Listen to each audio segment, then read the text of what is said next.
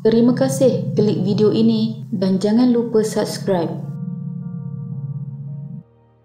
Nama Manohara Odilia Pinot kembali diperkatakan selepas berita penukaran agamanya timbul. Ini membuka kenangan lama tentang kisah gelap Manohara yang ditahan suaminya Tengku Muhammad Fakri Petra yang merupakan putera diraja negeri Kelantan. Tengku Muhammad Fakri merupakan putera ketiga Sultan Kelantan pada waktu itu Sultan Ismail Petra dan merupakan Tengku Temenggung Kelantan manakala Manohara pula merupakan seorang model dan sosialit kewarganegaraan Indonesia berketurunan Amerika Syarikat, Perancis dan Bugis. Manohara yang mendakwa dia telah dianiaya menggemparkan masyarakat di Malaysia dan Indonesia. Masalah rumah tangga tersebut terpaksa diselesaikan segera kerana merosakkan hubungan kedua negara itu. Selain itu, berlaku siri tunjuk perasaan di Indonesia berhubung perkara kontroversi tersebut sehingga kini kisah tersebut masih diingati dan sering diungkit kembali. Lalu apa yang telah berlaku? Ini adalah kisahnya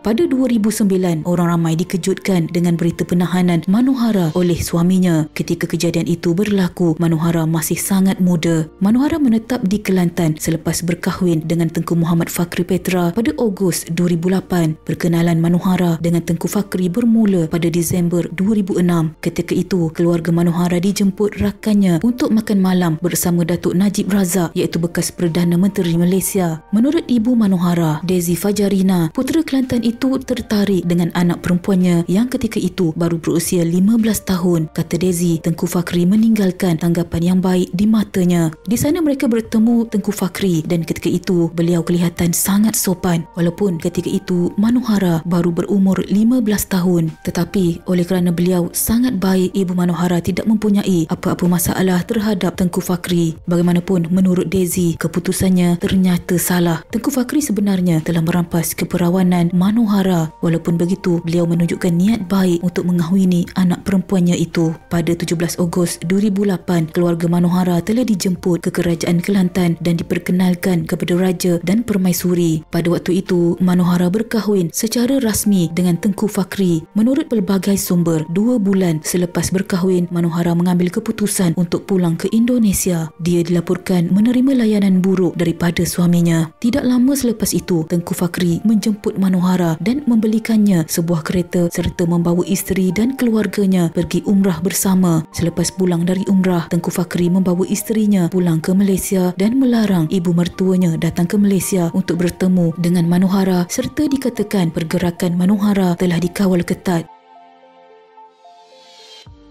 pada 2009 dengan pertolongan kedutaan-kedutaan Indonesia dan Amerika Syarikat, Manohara berjaya melarikan diri ke Jakarta dari Singapura sewaktu menziarahi Sultan Kelantan yang sedang gering di republik itu. Sejak itu, Manohara dan ibunya menghiasi media Indonesia. Kedua-duanya menyatakan bahawa tuduhan penahanan dan layanan buruk yang dilakukan oleh Tengku Fakri sememangnya fakta. Pada 1 Jun 2009, Detik.com melaporkan ibunya mendakwa ada kesan seterika di dahi anaknya selain lain kesan luka di bahagian dada. Pemeriksaan kesihatan dan pemeriksaan psikiatri dijalankan untuk mencari kebenaran dakwaan. Peguam juga menguruskan tuntutan cerai secepat mungkin. Kali ini Manohara sendiri mendakwa dianiaya. Sebelum ini, ibunya Desi Fajarina mendedahkan kes itu pada 20 April 2009 dan menggemparkan media Indonesia dan Malaysia. Dalam sidang media langsung dari stesen televisyen TV1 di Jakarta, Manohara dikatakan menyalahkan pihak istana yang mengetahui nasib buruk yang dialaminya tetapi tidak bertindak membelanya. Foto yang menunjukkan dia dilukakan di bahagian dada telah diserahkan kepada polis Malaysia tetapi tiada tindakan diambil. Manohara juga menyalahkan media masa Malaysia yang sering memberikan gambaran bahawa dia sentiasa dalam keadaan baik. Media masa hanya mengambil foto tetapi tidak menyoal apa-apa kepada Manohara. Manohara menuduh kedutaan Indonesia di Kuala Lumpur gagal menjalankan tugas mereka dengan baik. Namun pegawai di pejabat luar negeri Indonesia menafikan menafikannya. Dalam wawancara Manohara dengan televisyen ANTV, Manohara mendakwa diberikan suntikan hormon untuk menambah berat badannya. Dia disuntik hormon dan berat badannya bertambah 15 kg dalam masa 2 bulan. Malah 10